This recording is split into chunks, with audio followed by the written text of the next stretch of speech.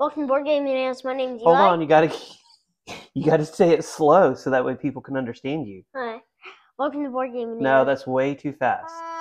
Way too fast. Welcome to Board Game Bananas. Welcome to No, you gotta wait till I turn my head so that way I'm looking at the camera and smiling. All right. Welcome to Board Game Bananas. You gotta have your hand down from your face. That way they can Okay, actually... you're doing it. You're doing it. No, no, no, you do it. You do it. Welcome to Board Game Bananas. My name's Eli, My name is Dad. and today we're gonna be playing. Jetpack Joyride! I don't know about you, but Jetpack Joyride was one of the funnest games that I ever played whenever it came out on the iPhone. Did you ever play Jetpack Joyride? Yes, it was really fun. Yeah. Was it your favorite game ever? Not really. Roblox is. Roblox is your favorite game? Maybe you have to do a review on Roblox. It's not a board game. Oh, this is true. So the way that you play Jetpack Joyride, the board game is kind of similar to the phone game, but a lot different at the same time. So you will take four of these cards. Each of the players will place four in front of them, just like this. And then whenever you say go, you're going to take each take turns. Well, not really take turns. Everybody does it at the same time. You're going to be grabbing these pieces from the middle of the table and you're going to be putting them down trying not to cover any of the fireballs or the lights, and you're going to try to cross as many coins as possible. For every coin you get, you get one point. The first person who finishes means that everybody has to be done, and it's just a mad race. It's kind of like Galaxy Trucker. No, no, you never played Galaxy Trucker. We'll have No. to play that and do a review. We have it upstairs. But it's kind of like Galaxy Trucker where you're doing it, putting pieces down as quickly as possible. Now, there are other win conditions, so uh, ways to get points. So, for example, this one says high five, near miss, three scientists. And if you want, for each game, you can draw three of these and have these out. And if you complete any of these missions while you're racing to put down all your pieces down across the board, then you can get extra stars. In this case, you can get four points in addition to the points that you gain from getting the coins whenever you're going on your little trek.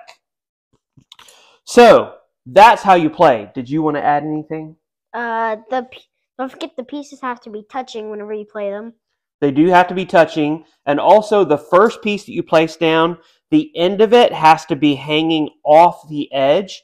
And whenever you put the last piece down, the end of it has to be hanging off the end of the edge of the last piece. We are not going to do a playthrough of this one because we're just going to go straight to what we thought about the game.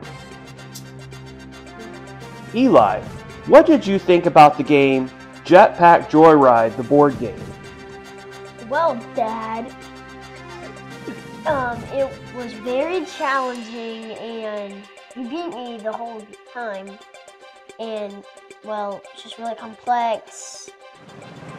I don't like it. You don't like it at all? No. So this is not board game bananas approved. no. So I as well was not a huge fan. Whenever you're putting your pieces down, it's hard to get them lined up, and whenever you're going really fast, oftentimes your your pieces will jostle, and so you're not sure where you had a piece. And by the time you get to the third frame, there's a piece that's messed up in the first frame. Also, crossing the obstacles. So some of these are super easy to see, like these little fireballs. But these little ones here sometimes can be difficult. And in the heat of the moment, whenever you're putting your little pieces down, you can mistake this for a coin and then you cross over it and then you come back at the end and you're like, oh man, I didn't know that that was a coin. I'm not a fan either. I think that it's an interesting concept. And I think if two things could be done to this game, then it would be interesting. And number one is if obviously it would increase the cost, but if these could have ways where they could actually click down into the game board. So if they had raised pieces or if this was sticky in some way where when you put it down, why are you laughing? I don't know why was it even sticky. Hands down. I can't see your face. So if you if you put the piece down and it stayed, or if it clicked in, that would be one thing. Second thing that would be cool is if the obstacles were raised just a little bit, That way, you knew whether or not you're going to hit an obstacle. Suggestion number three is if you could put down the actual coins and pick them up. That obviously would mean that this little card would have to be at least twice as big in order to have the game pieces. But you could have little coins, and as you put your piece down, you could pick up the coin, and then that would be one point. To me, those three things would make the game a lot more exciting. But as it is, we're going to have to say, nah. So this game is not Board Game Bananas approved. Watch us for more reviews. Until then, we'll see you next video. Adios, amigo. Or amiga.